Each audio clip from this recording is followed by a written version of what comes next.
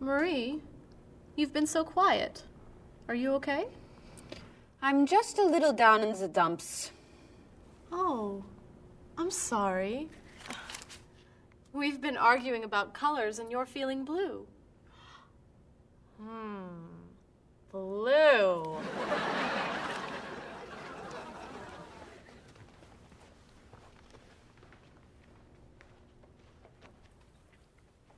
What's wrong, Marie?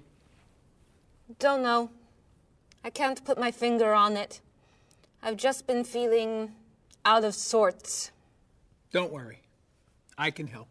Dr. Cheer is here. Doctor Who?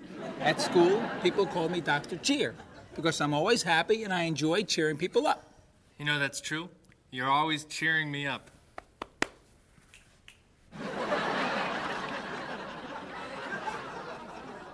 How do you do that?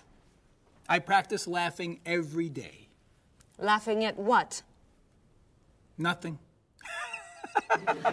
I just choose to laugh.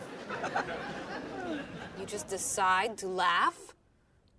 I can't do that. It's not in my nature. How do you know? Just try it. Let me hear you laugh.